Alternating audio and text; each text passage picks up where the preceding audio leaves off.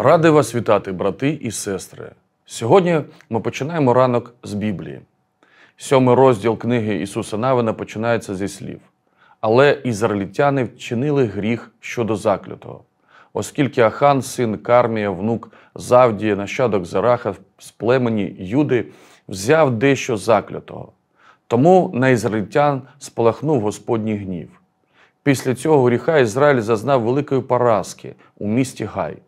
Ісус Навин був здивований, чому після такої блискучої перемоги в Іріхоні вони раптом зазнали поразки. І відповідь на це питання знайшлася. Ахан зізнався: серед здобичі я побачив гарний шинеарський плащ, 200 шеклів срібла та один золотий злиток у 50 шеклів вагою. Я дуже зажадав цього і взяв. Усе це заховано в землі в моєму наметі, а срібло під ним внизу.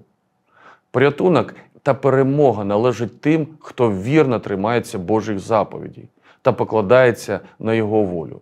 Історія з Аханом служить нам нагадуванням про те, як навіть один гріх може завдати шкоди всьому народові. Але коли ми визнаємо свої помилки та очищуємося перед Богом, ми отримуємо Його милість та благословіння. Винищивши цей гріх з народу, євреї почали переможну ходу по обітованій землі. Давайте винищимо всякий гріх з народу Божого, щоб ми мали можливість і надалі перемагати.